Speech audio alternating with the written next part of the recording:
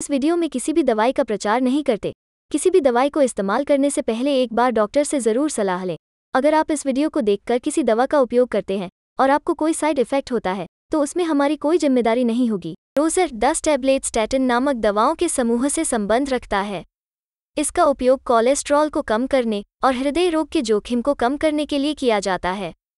Cholesterol एक वसायुक्त पदार्थ है, जो आपकी रक्त वाहिकाओं में बनता है और संकुचन का कारण बनता है।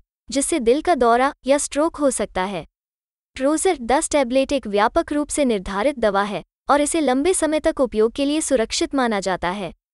इसे भोजन के साथ या खाली पेट लिया जा सकता है।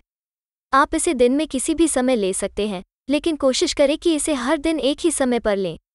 उच्च कोलेस्ट्रॉल वाले अधिकांश लोग बीमार महसूस नहीं करते हैं, लेकिन आपकी दवा को रोकना आपके कोलेस्ट्रॉल के स्तर को बढ़ा सकता है, जिससे आपकी स्थिति खराब हो सकती है और हृदय रोग और स्ट्रोक का खतरा बढ़ सकता है।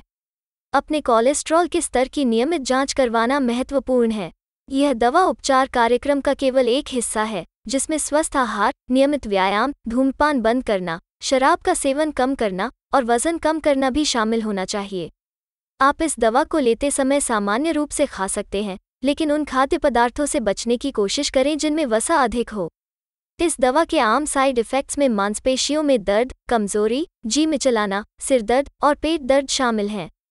ये आमतौर पर हल्के होते हैं और थोड़े समय के बाद गायब हो जाते हैं। अपने चिकित्सक से परामर्श करें यदि वे बने रहते हैं या यदि आपको अपनी आँखों का कोई पीलापन दिखाई देता है या बार बार या अस्पष्टीकृत मांसपेशियों में दर्द होता है। इस दवा का उपयोग लीवर की बीमारी जैसी स्थितियों में नहीं किया जाना चाहिए।